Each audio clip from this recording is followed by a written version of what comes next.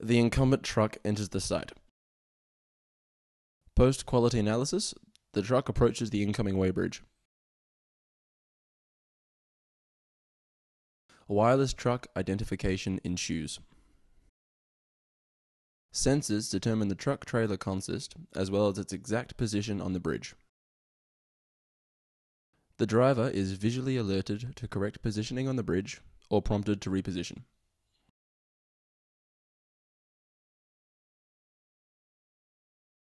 Weight of the truck is captured and cross referenced against requirements of the governing statutory mass management strategy. The driver is visually alerted to any contravention of such legislation and prompted for acceptance of the ensuing action. Truck identification is cross referenced against the corporate system, extracting commodity type, grade, and grower details. Of discharge is assigned and visually identified to the driver. A site identification docket is printed for driver collection. The truck departs the incoming weighbridge en route to the point of discharge.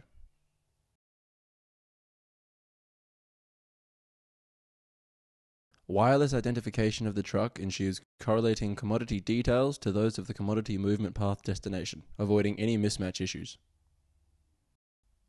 Equipment is started and destination bay reference recorded. Driver is visually alerted to acceptance to proceed with commodity discharges.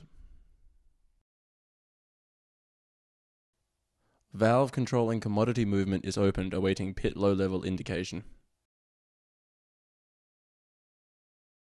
Upon completion of discharge process, the truck proceeds to the outgoing weighbridge. Wireless truck identification ensues at outgoing weighbridge. Sensors determine the truck trailer consist as well as its exact position on the bridge. The driver is visually alerted to correct positioning on the bridge or prompted to reposition. Tare weight figure is captured. The driver is visually alerted to net discharge weight and is prompted for acceptance. Upon acceptance, a receipt for entire discharge process is printed. The corporate system is updated with all relevant information. Time statistics are stored locally for future analysis. Truck leaves the weight bridge and exits the site.